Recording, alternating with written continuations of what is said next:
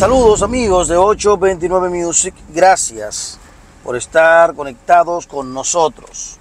Como ven, esta Semana Santa, mientras he estado fuera, eh, compartiendo con mi familia, pues no puedo dejar de compartir las informaciones, todo lo que va ocurriendo con ustedes. Y en esta ocasión es un caso muy trágico y penoso.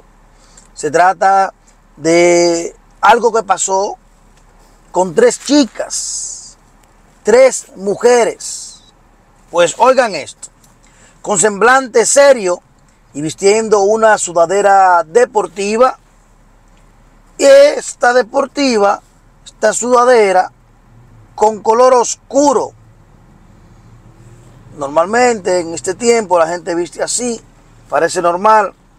Sin embargo, así apareció Gilbert Reyes Bermúdez en su primera fotografía como detenido tras ser hallado. Oigan dónde lo encontraron, señores. En la República Dominicana. Esto dos meses después de haberle quitado la vida a tres mujeres en Honduras. Es decir, que a nuestro país, a la República Dominicana, estos delincuentes que se sienten libres están llegando, se están acomodando en nuestro país, se sienten quizás hasta protegidos, no sé. Algo tiene que ser, porque ¿cómo es posible que en República Dominicana sea que encuentren ese tipo de gente? No hay un control en los aeropuertos, ni a la salida de allá ni a la recibida de aquí. Porque si hubiese estado en aquel momento pedido por la Interpol, probablemente ya hubiese, hubiese sido desde antes. Pero este hombre, quien es un ciudadano estadounidense, se fue a Honduras el 8 de enero, apenas unas horas después de haber salido de fiesta con las jóvenes. En ese momento nadie sabía lo que había sucedido. Gilbert tomó un vuelo en el aeropuerto de Robatán, en las islas de las Bahías, con destino a Estados Unidos, y desde entonces no se sabía nada de él. Hasta ahora, cuando las autoridades hondureñas informaron que el sujeto fue detenido en la República Dominicana. Oigan esto, señores. Este muchacho no fue que vino huyendo para acá, no. Este muchacho, Gilbert Reyes Bermúdez, vino a la República Dominicana de vacaciones. Vino, aprovechó el asueto de la Semana Mayor, el asueto de la Semana Santa, para venir a la República Dominicana a disfrutar de las playas hermosas que tiene este país. A disfrutar del cálido trato que le damos nosotros a los que vienen, sin importar que sean buenos o malos, que sean delincuentes como Gilbert o no. Pues, antes de viajar a relajarse al país caribeño, se cree que Reyes Bermúdez estuvo en Estados Unidos, evitando ser visto, pues contaba con una alerta migratoria. Y ahí es que entra mi comentario. Porque si este muchacho tenía una alerta migratoria, ¿cómo pudo llegar a la República Dominicana? Si estuvo en Estados Unidos primero, ¿cómo pudo salir de los Estados Unidos? O, bueno, déjame seguir con la nota, para no seguir inventando con ustedes. Las jóvenes que les habría quitado la vida dejaron seis niños huérfanos, pues María Antonia Cruz era madre de tres, Nikendra McCoy era madre de un menor de tres años y Dioné Solórzano era madre de dos niños. Seis huérfanos, agréguenle eso.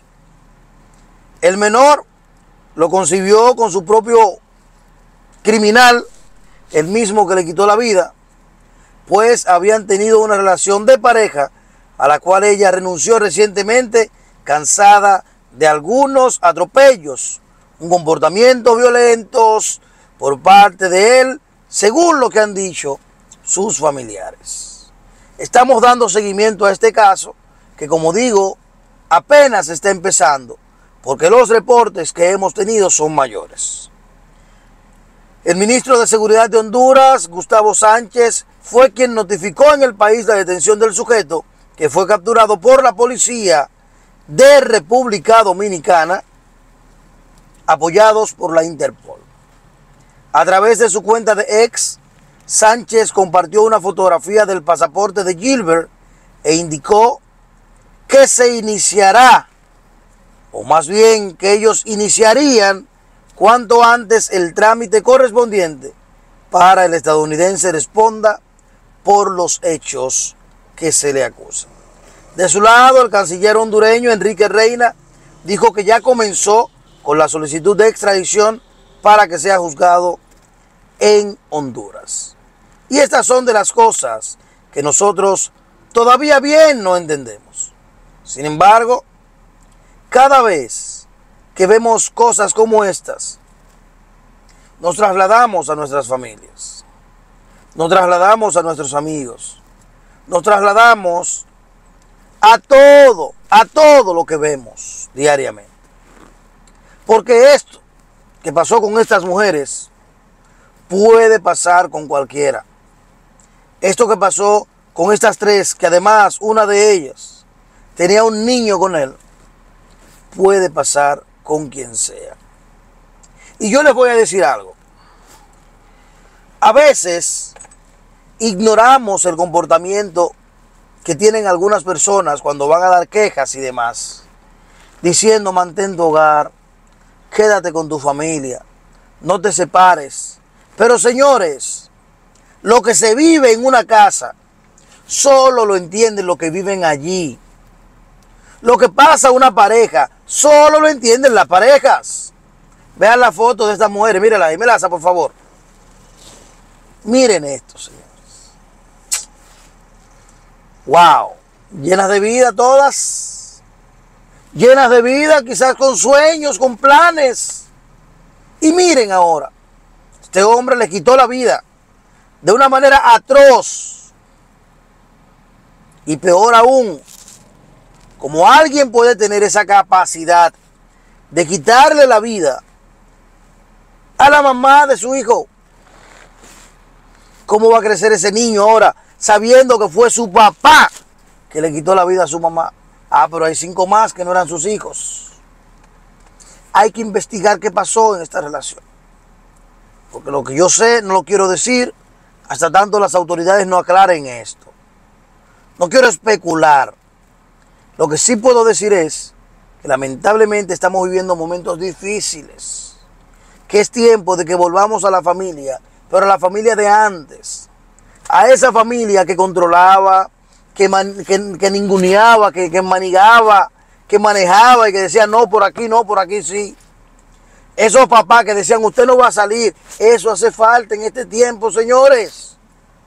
Que aunque esté casado, aunque esté casada, sigan teniendo control. O más bien, sigan pendientes. Porque la libertad con la que viven hoy en día la juventud es lo que lamentablemente ha permitido que pasen cosas como estas. Qué penoso, señores. Esto me da mucha tristeza, el caso. Pero también le doy un aplauso a las autoridades dominicanas que pudieron dar con este hombre en República Dominicana. ¿Ustedes qué opinan? ¿Qué creen de este planteamiento que estoy haciendo? Quizás exagerado, pero bueno, es mi opinión. Ahora ustedes, ¿qué opinan? Comenten, compartan este video, suscríbanse al canal, activen la campanita de notificaciones. Así, cada vez que hagamos videos, a usted le llega de primero. También recuerde seguirnos en las redes sociales Estamos en Instagram, en Facebook, en Twitter, como arroba 829music. Y el mío, el mío personal que es arroba Adam Lester. Gracias por el cariño y gracias por el seguimiento. Nos vemos en el próximo video.